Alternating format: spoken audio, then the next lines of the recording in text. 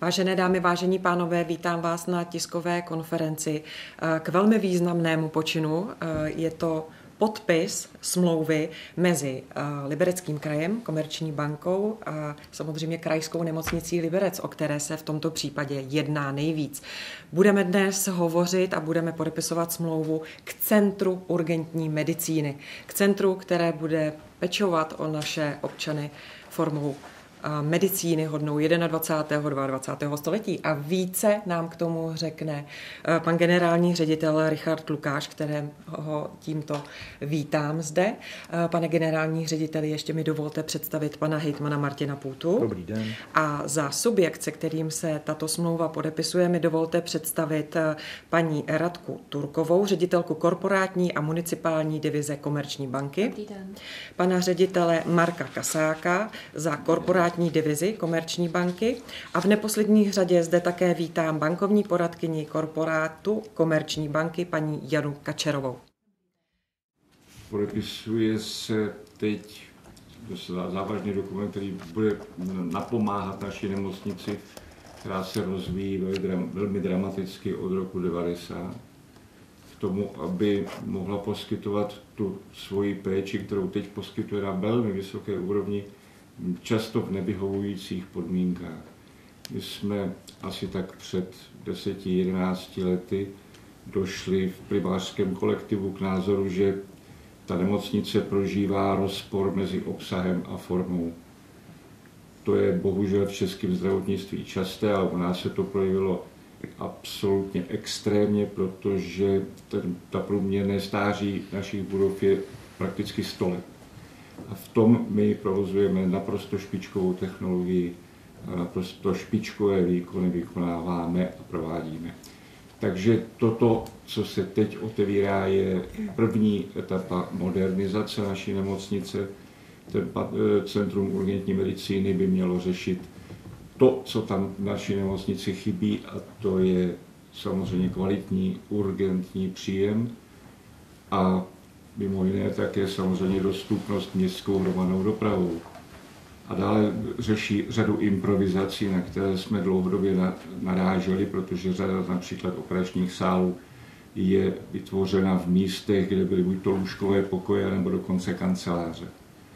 No a pak je tady samozřejmě otázka jisté logistiky v té nemocnici, protože máme 37 budov a bylo by hezký, kdybychom postupně tou modernizací v tom jejím prvním, teď začínajícím, a druhém, který by měl postupně být už zač, by se mělo začít ho plánovat.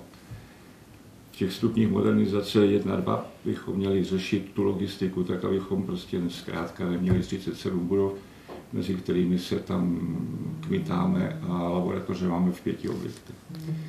Tak jsem moc vděčný panu panovi a všem ostatním politikům, ať už je to na hejtmanství nebo na městě v Liberci, v Turnově, Nově i ve Friedlandu, že to podporují. A děkuji zástupcům komerční banky, že připravili takovou nabídku, která se nedá odmítnout. Děkuji, pane generální ředitel. Pane hejtmane, máte slovo. Eh, Děkuji za slovo. Já myslím, že ten podpis úvěrové smlouvy, eh, na základě které se Liberecký kraj může půjčit až 1,3 miliardy korun, je další z řady kroků eh, za těch posledních deset let, které bylo nutné udělat k tomu, aby Centrum urgentní medicíny se stalo z hesla, z plánu, z projektu nakonec realitou. Eh, já chci moc poděkovat vedení nemocnice za to, že ten projekt dlouhodobě a vytrvale eh, prosazuje, protože eh, v prostředí krajské politiky je samozřejmě projekt, který se připravuje 10 roků principiálně ohrožený už jenom, už jenom tím, že se kolem něho vystřídá celá řada lidí. A tady ten projekt má jednu velkou výhodu a to je ta je v tom, že ten projekt je dlouhodobě podporován jak zevnitř nemocnice, tak eh, od všech v tuto chvíli již čtyřech akcionářů a já si, eh, já si toho vážím a Liberecký kraj do toho projektu eh, vstoupil s tím, že zajistí financování, že ho zajistí tak, aby nemocnice měla jistotu, že až vysoutěží dodavatele, bude to už, věřím, v nejbližších měsících, takže financování toho projektu, toho projektu bude pokryto. Často odpovídám na otázku, jestli tím úvěrem eh, nedostáváme Liberecký kraj do nějaké nekomfortní situace. My jsme velice pečlivě, a děkuji za spolupráci ekonomickému odboru, zvažovali naše možnosti. Ta výše toho úvěru vyplývá právě z toho, že chceme pokračovat ve splácení zhruba stejných částech, jako splácíme do posud. To znamená, že by na straně kraje neměl vzniknout žádný tlak na ostatní rezorty, protože kraj se nestará jenom o zdravotnictví, nejenom o krajskou nemocnici, ale o celou řadu dalších eh, rezortů, od školství přes eh, sociální ústavy, domovy pro seniory, kulturní instituce, eh, silnice, všude, kam se podíváte a naším cílem bylo, bylo to, aby i v těch dalších odvětvích, o které se staráme, Liberecký kraj mohl zajistit údržbu svého majetku a jeho budoucí rozvoj.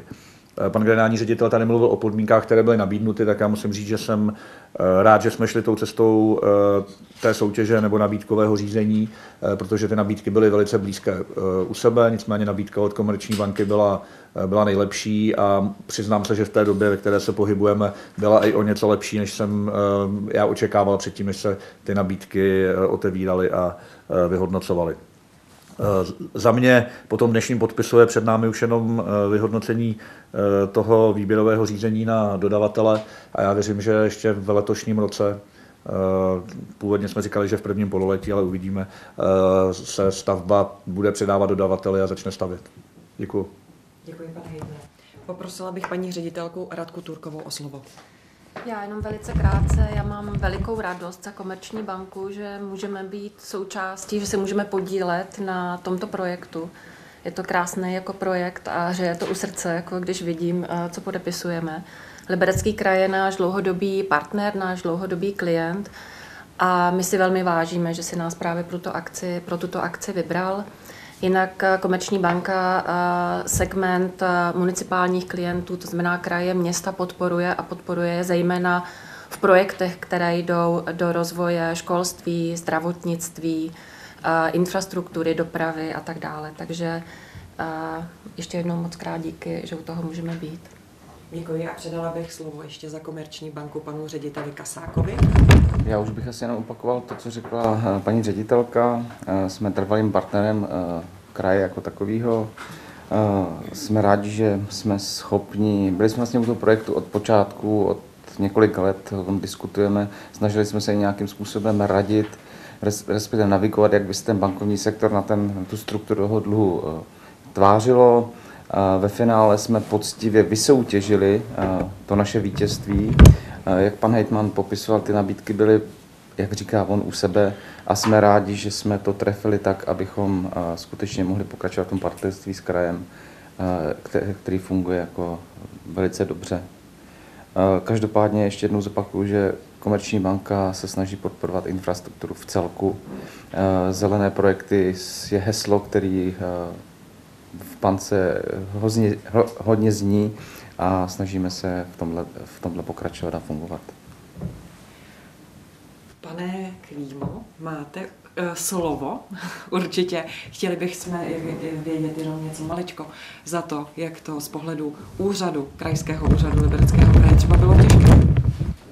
Tak děkuji za slovo.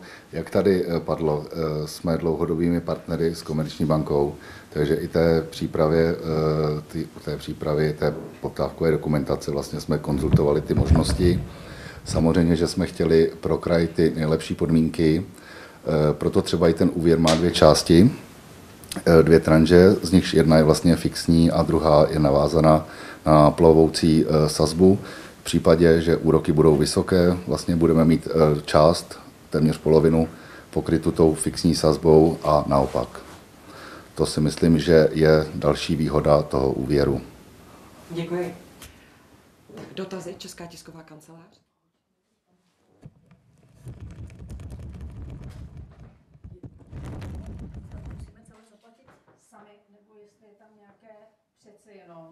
Možnost čerpání dotací na výstavbu toho centra. Já se pokusím připomenout ty základní čísla. Ten projekt, eh, ta stavební část je zhruba za 2,4 miliardy podle, podle projektantů. Necelé 2,1 miliardy bude financovat kraj z části z tohoto úvěru, z části z vlastních zdrojů, které buď už máme našetřené, nebo je eh, budeme eh, mít k dispozici v příštích letech, jsou naplánovány ve střednědobém rozpočtovém výhledu. Další část bude, budou financovat minoritní akcionáři, město Liberec, město Turnov, město Friedland a část nemocnice a na nemocnici samozřejmě také zůstává ta částka, která se bude týkat dalších věcí, které se po sestěhování nemocnice odehrají. Takže myslím, že to rozdělení, rozdělení mezi všech, všech pět subjektů, včetně krajské nemocnice Liberec, ke kterému došli akcionáři v rámci akcionářské dohody, ten projekt finančně zajišťuje a my pevně věříme, že vedle zhruba 300 milionů korun, které by které by měl ten projekt získat eh, v rámci podpory výstavby urgentních příjmů v novém plánovacím období evropských dotací, takže se ještě, i když samozřejmě ta ekonomická situace a to, co se teď odehrává na východě od nás, eh, ty předpoklady může významně změnit, že se taky dostaneme do situace, kdy bude stát podporovat investice do zdravotnických zařízení, do krajských nemocnic, které nejsou fakultními, protože tady připomínám tu nerovnováhu kraje, ve kterých nejsou fakultní nemocnice, tak jsou trochu v uvozovkách odsouzeny k tomu, že ze svých rozpočtů eh, financují investice do eh, majetku, do vybavení, do vybavení nemocnic a uh, my jsme už o tom s novou vládou diskutovali. Věřím že, věřím, že se tady změní možná i přístup ve zdravotním pojištění, kdyby ty krajské nemocnice, krajské fakultní nemocnice, vlastně ne kraj, uh, měly být financovány podobným způsobem jako fakultky, tak aby dosáhly na financování té špičkové nemocniční péče. To tady říkal na začátku pan generální ředitel. My máme špičkové lékaře, špičkové zdravotníky, Eh, mají špičkové schopnosti a to, co teď potřebujeme dohnat, je technický stav, eh, stav těch budov, tak eh, věřím, že i, i financování ze zdravotního pojištění a od státu k tomu rozvoji přispěje. Děkuji. Pane řediteli, chtěl byste doplnit? Chyboval jste tu. No, přikyvuju samozřejmě, protože pan hejtman to řekl kompletně. Akorát bych dodal, že nemocnice zatím do toho účtu transparentního za ta léta, kdy to budujeme, přispěla 170 miliony korun a celkově, když se mluvilo o tom, že ta celý ta modernizace, ten první stupeň bude stát 3,5 miliardy poctivých peněz, takže tam chybí třeba 800 milionů přibližně na to technologické vybavení. A zastupitelstva kraje a města Turnov a samozřejmě nemocnice se společně zavázali, že budou hledat financování v rámci svých kontaktů a tlaků a nějakých, nějakého lobování konec konců, na to by se to uhradilo. Současné financování zdravotnictví je velice bohaté. Zkrátka peněz teď se pouští do toho zdravotnictví v souvislosti s covidem veliký množství. A kdyby to takhle bylo dál, tak by nebyla o těch 800 milionů žádná starost. Takhle to teď úplně není, protože ten rok 2022 se předpokládá, že finančně pro to lůžkové zdravotnictví bude v pořádku. Rok 2023 bohužel je ve velkých nejistotách a obecně se interpretuje jako velký průšvih. Takže uvidíme, co budeme schopni z těch peněz, které v současné době máme na účtech, uchránit před zánikem, vzhledem k tomu, že musíme mít na platy, musíme mít na prostou reprodukci té nemocnice a tak dále. Tak teď jsme v určitý nejistotě. Na druhou stranu věřím, že s těmi zastupitelství a konec konců se zastupitelstvem města Liberec, které zatím to neschválilo, teda tu účast na těchto snahách, že to nenecháme zkrátka nevybavený, tu nemocnici, to nepřipadá v úvahu. Další věc je, že celá řada funkčních celků technologických bude přenesena ze stávajících provozů do toho nového objektu. To jinak ani nejde, protože my samozřejmě tam provozujeme akce schopnou technologii a to přece neopustíme a nebudeme si tam vybavovat tím tež materiálem mít nějaký nový prostor. Čili těch 800 milionů je taková orientační částka, která, jak doufám, nebude celá zapotřebí v ten moment. Děkuji. Tak já děkuji. Děkuji vám všem k vyjádření. Poprosila bych konečně o ty podpisy, protože když nebudou podpisy, tak nebude smlouva. Máme to za schválním zastupitelstvu. tak jo, takhle je to dobrý.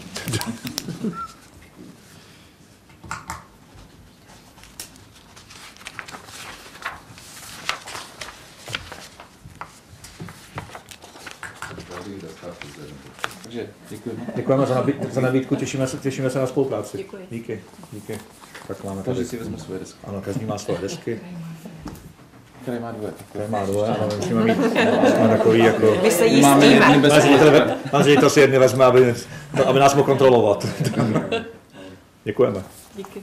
Tak já vám všem děkuji. Ještě na závěr bych se chtěla zeptat, pane hejtmane, eh, kdy to všechno začne? Jaký je předpoklad, abyste divákům mohl říct, eh, kdy můžou očekávat nějaké změny? To záleží, na- to záleží na hodnotící komisi především, která, která, se zabí, která byla ustanovena na to výběrové řízení a já mám jenom obecné informace, protože nejsem součástí té komise, že v tuhle chvíli probíhá fáze, kdy se uchazeči o zakázku eh, ptají na projektovou dokumentaci a u takhle velké, u takhle velké projektové dokumentace jsou to samozřejmě desítky, desítky dotazů, takže se zatím podle posledních informací prodloužila zadávací lhůta do konce dubna.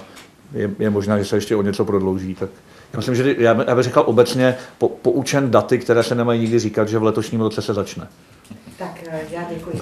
Samozřejmě, že pokud byste chtěli vědět něco víc, tak se podívejte na webové stránky Krajské nemocnice Liberec nemlip.cz, kde je o modernizaci Centra urgentní medicíny a je eh, výstavbě tohoto centra víc. Děkujeme, že jste se na nás dívali, děkuji vám všem za to, že jste tu byli a nashledanou. Nashledanou. Nashledanou.